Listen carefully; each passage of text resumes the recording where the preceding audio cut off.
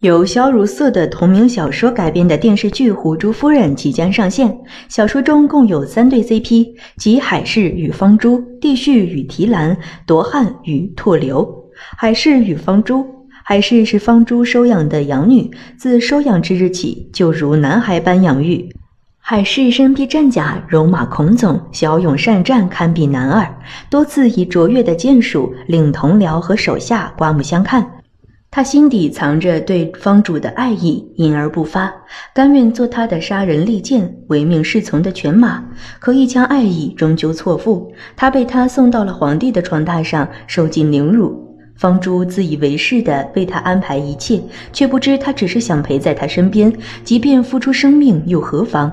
在帝旭和方舟双亡后，海氏因为有了帝旭的遗腹子，将余生用在教养孩儿和管理朝政上，做了二十二年的聂政太后。方仲旭与提兰，提兰是楚仲旭登基为帝后。祝辇国送来和亲的第二位公主，另一个原因只因为提兰与义母姐姐子簪容貌酷似，而子簪是楚仲旭还是王爷时的王妃，她温婉善解人意，勇敢坚强，是楚仲旭的白月光。可是子簪却没等来好日子，在叛乱中连同腹中胎儿被害而亡。楚仲旭悲愤至极，自此性情大变。他为了国家安定和百姓安稳过活，九死一生，自己的命死不足惜。可为何要夺去自己的挚爱？于他，命运如此残忍，毫无怜惜。提兰只是他的赝品，永远不是子簪。提兰的出现，只会让楚仲旭对子簪的思念更浓，对自己和苍生的怨恨更大。楚仲绪最终选择在场王叛乱中单枪匹马战死。小说中，提兰对楚仲绪充满畏惧，他最后被海氏送出宫外，与老情人将军汤乾字相伴终老。不过，电视剧应该会舍去这一段，不然女二的戏太多，容易抢了女一的风头。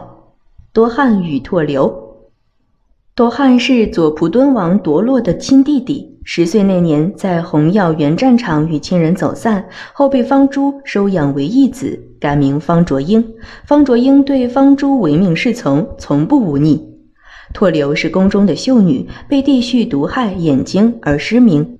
她与方卓英情投意合，两小无猜。虽是小小宫女，但深明大义。方珠命方卓英回到汉北生养之地，取得叔父支持，与哥哥争权。方卓英自然听命。但他心中始终放不下拓流。为了坚定方卓英的信念，方珠瞒着义子劝服拓流自尽，还将这笔血仇算在了昶王身上，让方卓英对付昶王。方卓英最后统一汉北，建立新王城红花拓流之城。